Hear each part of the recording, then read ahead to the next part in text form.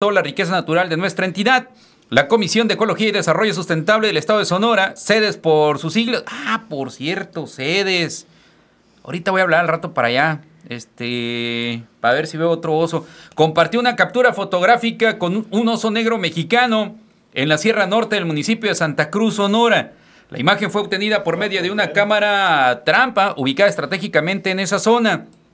El gobernador del estado, Alfonso Durazo, ha compartido la emocionante imagen a través de su cuenta de Twitter, destacando lo excepcional que es la fauna de nuestra región.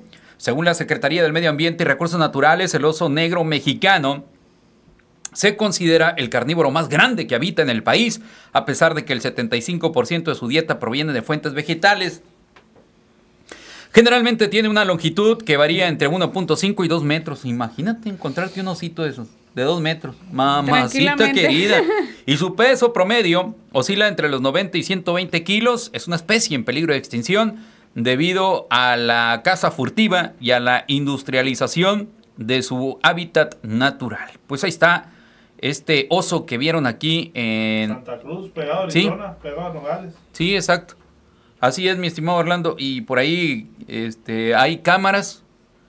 Eh, luego no le voy a pasar a los léperos estos que andaban en la laguna y que se vayan para allá y que haya una cámara ahí, ¿no? Que haya una cámara, es lo único que les faltaba. Ay, mamacita que Mira, les voy a decir una cosa, este siempre va a haber alguien que te ve. Sí. Independientemente, aunque creas tú que estás solo, siempre hay alguien que te va